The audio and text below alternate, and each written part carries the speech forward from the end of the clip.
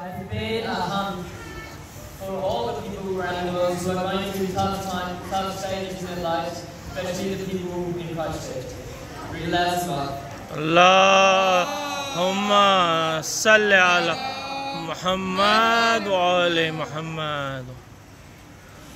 Inshallah. Inshallah.